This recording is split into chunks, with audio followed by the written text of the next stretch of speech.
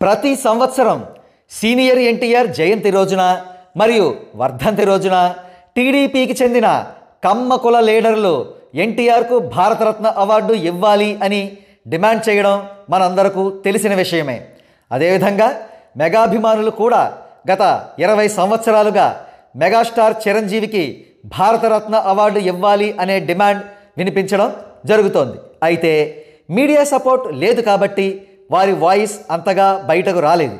ఇక చిరంజీవి మరియు ఎన్టీఆర్ వీరిద్దరిలో భారతరత్న అవార్డుకు ఎవరు అర్హులు అంటే వంద శాతం ఖచ్చితంగా చిరంజీవి మాత్రమే అర్హుడు. ఎన్టీఆర్కు ఆ అర్హత లేదు అనే చేదు నిజాన్ని చెప్పక తప్పదు. ముందుగా భారతరత్న అవార్డుకు ఎన్టీఆర్ పూర్తి స్థాయిలో ఏ విధంగా అర్హుడు కాదో చెప్పుకుందాం. నటుడిగా ఎన్టీఆర్ టాలెంట్ అసామాన్యం.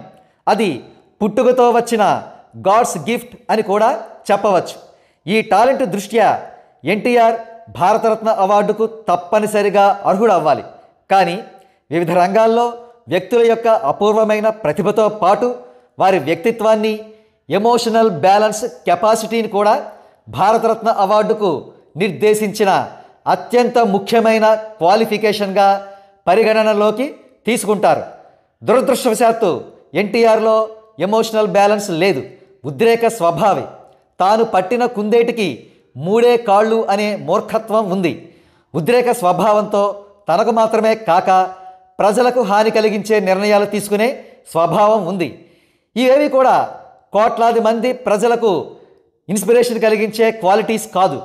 గతంలో భారతరత్న అవార్డులు సాధించిన మదర్ థెరిసా అబ్దుల్ కలాం సచిన్ టెండూల్కర్ లాంటి వారు ఎంతటి శాంతమూర్తిలో వేరే చెప్పనవసరం లేదు.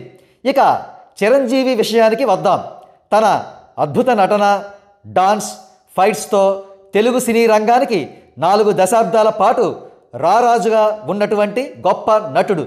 నటనతో పాటు సమాంతరంగా సేవా కార్యక్రమాలను వందల కోట్లు వెచ్చించి ఉద్యమ స్థాయిలో చేస్తున్నటువంటి చరిత్ర ఉంది. ఇక రాజకీయాల్లో ఎన్టీఆర్ ముఖ్యమంత్రిగా చేస్తే చిరంజీవి కేంద్ర మంత్రిగా చేశాడు. ఇక అన్నింటికీ మించి ఎమోషనల్ బ్యాలెన్స్లో చిరంజీవి గతంలో భారతరత్న అవార్డులు సాధించిన వారెవరికీ తీసిపోడు. చిరంజీవి ఏనాడు తన టెంపర్ లూజ్ అవ్వలేదు. జనాలకు హాని చేసే అకస్మాత్తు నిర్ణయాలు ఏనాడూ తీసుకోలేదు. వ్యక్తిత్వ వికాస పుస్తకాల్లో కనిపించే రూల్స్ని నిజ జీవితంలో ఆచరించి చూపే వ్యక్తి. సింపుల్గా చెప్పాలంటే చిరంజీవికి భారతరత్న వస్తే ఆ అవార్డుపై గౌరవం మరింత ఇనుముడిస్తుంది.